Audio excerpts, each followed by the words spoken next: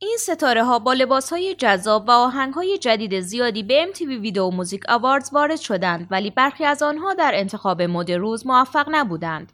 ریانا برای این شب لباس بلند و سفید، پشتباز، گرم و جذاب آدام سلمن را همراه با یک مدل موی جدید و کوتاه انتخاب کرد. تیلور سویف نیز با لباسی سفید یا حداقل کمی سفید نمایان شد. یک کت و شلوار رسمی از جی مندل به تن داشت که با جواهرات الماسش هماهنگ بود.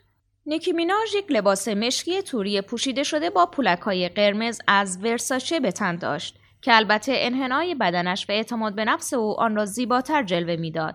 کیتی پری لباس مشکی بلندی از الیسا با طرحهایی از گل و بوته به تن داشت با یک دامن نازک به همراه کفشای جیمی چو. زوی سالدانا ستاره فیلم واژه ها که به زودی به نمایش در میآید در یک لباس آستین بلند صورتی از سالواتور فراگامو درخشید. این دو ستاره لباس هایی به رنگ متالیک داشتند. آلیشیا کیز لباسی به تن داشت با یک شانه نمایان و با دامنی چاکدار.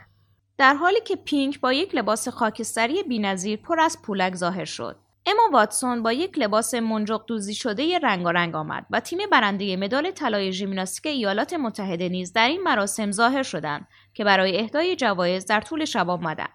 VMA از استیپلس سنتر لس آنجلس در تاریخ 6 سپتامبر پخش شد.